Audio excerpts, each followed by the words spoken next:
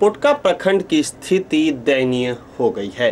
Block में गंदगी का अंबार है, पर किसी का नज़र इस ओर नहीं। जैसे सी न्यूज़ के कैमरे में कैद किया गया इस वीडियो को देखकर आप खुद ही पता लगा सकते हैं कि दफ्तर की स्थिति आखिर है क्या। गाय माता को भी आसानी से यहाँ चारा मिल जाया करता है। इस मामले में जब जेसिसन न्यूज़ ने ब्लॉक के प्रमुख से बातचीत किया तो उन्होंने कहा कि जल्द इसे साफ़ करा लिया जाएगा। पर ध्यान देने वाली बात यह है कि कैमरे लगने के बाद ही आखिर प्रमुख साहब ने इस दफ्तर को साफ़ कराना सही क्यों समझा? बस, कितनी शर्म की बात है। देखिए तो पोटका प्रखंड जैसी जगह में हाँ? इतना अधिकारी लोग सीईओ है वीडियो है बड़े बड़े ऑफिसर लोग यहाँ आते हैं हाँ? और हम लोग आके यहाँ पर हम लोग का ऑफ़िस भी है पर, पंचायत समिति का ऑफ़िस भी है। लेकिन कितनी गंदगी है, कितनी शर्म की बात है हाँ?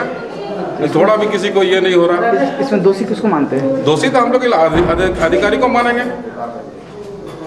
यही लोग पूरा गंदगी करके रखा। करीब डेढ़ दो महीना से हम लोग आते हैं यहाँ पर कुछ बोल बोलने से कुछ असर नहीं होता इन लोग।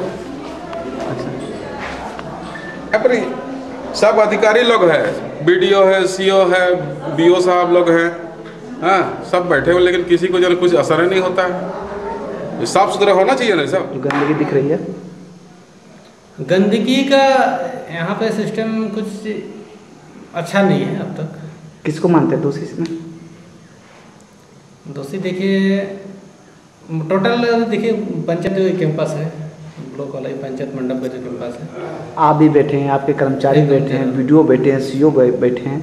बावजूद इतना गंदगी है क्या आप लोग गंदगी में अच्छी लगती है क्या? देखिए हम तभी सुबह को हम ज़िक्र कर रहे थे इस बारे में कि भाई हम वही कार्यालय में भी नहीं बैठेंगे बाहर बरगद के पीपल के नीचे ही बैठेंगे। तो क्या सफ़ाई करने के लिए कोई अधिकारी कर्मचारी नहीं है क्या? यहाँ तो नहीं है। तो हम अपने स्तर से कल एगो ये लगाएँगे एगो लेबर लगाएँगे फिर साफ़ कर। इस दफ्तर में बीडीओ बीओ सीओ सभी बैठते हैं पर किसी की नज़र इस पर अब तक नहीं पड़ी। या फिर देखकर भी लोगों ने अनदेखा किया या तो साहे भी जाने। जेसिसन न्यूज़ के लिए कैमरामैन राकेश कुमार के साथ अमित कुमार विकी की रिपोर्ट।